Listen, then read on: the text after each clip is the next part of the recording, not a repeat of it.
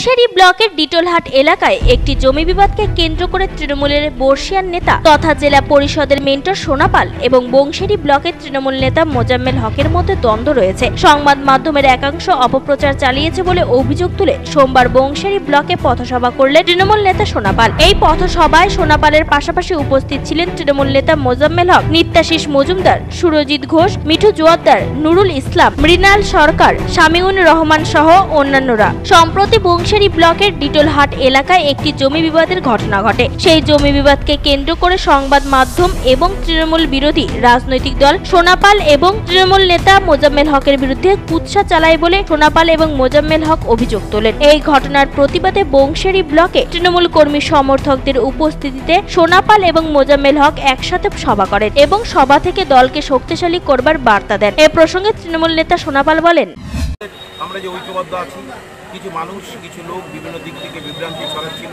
যে আমাদের মধ্যে থেকে একটা অনৈক্য তৈরি হয়েছে।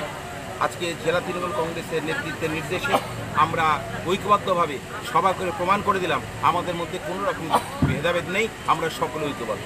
দেখেন, আজকে সারা বাংলা জুড়ে বা সারা দক্ষিণ দিনাজপুর জেলা জুড়ে বিজেপি যে একটা অপকর্ম করার চেষ্টা করছে, আপনারা জানেন তার বিরুদ্ধে আমাদের তিন নম্বর এলাহাবাদ অঞ্চলের নেতৃত্ব এবং পাঁচ নম্বর নন্দনপুর অঞ্চলের নেতৃত্ব হাতে হাত মিলিয়ে যে একটা সুন্দর বাতাবরণ তৈরি করার চেষ্টা করেছে, তাকে সমর্থন জানিয়ে শুধু বিধানসভা না, প্রতিদিনের পদক্ষেপ। আমরা বললাম, আমরা প্রচুর উন্নয়নমূলক কর্মসূচি নিচ্ছি। দক্ষিণ দিনাজপুর জেলা পরিষদে প্রচুর উন্নয়নমূলক কর্মসূচি আছে।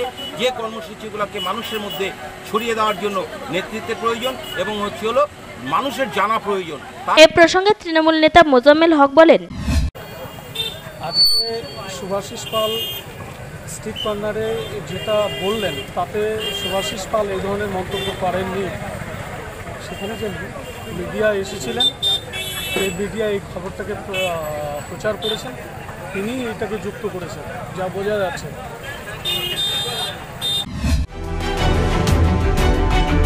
বংশিয়ারি থেকে সুমন বর্মনের রিপোর্ট, আমার নিউজ। এই প্রথম দক্ষিণ দিনাজপুর জেলার গঙ্গারামপুর শহরে আগামী ষোলোই আগস্ট শুভ উদ্বোধন হতে চলেছে থিম সম্পন্ন রেস্টুরেন্ট ইডেন। নবনির্মিত থিম সম্পন্ন রেস্টুরেন্ট ইডেন আপনাকে জানায় সাদর আমন্ত্রণ। আপনার সমস্ত প্রকার স্বাচ্ছন্দ্যের জন্য এখানে রয়েছে এসি, নন এসি রুম ও এসি কেবিনের ব্যবস্থা। রসনা পরিতৃপ্তির জন্য সাথে থাকছে সমস্ত রকম কন্টিনেন্টাল চাইনিজ বাঙালি ও তন্দুরি খাবারের ভরপুর আয়োজন। এখানকার নয়নাভিরাম প্রাকৃতিক পরিবেশে আপনার পুরো পরিবারকে সাথে নিয়ে অবসর বিনোদন ও রকমারি খাবারের স্বাদ গ্রহণ করতে চলে আসুন শুধুমাত্র restaurant Eden কালদেখি Shyampur road, Gangarampur, Dakshin Dinajpur. Eden complete family restaurant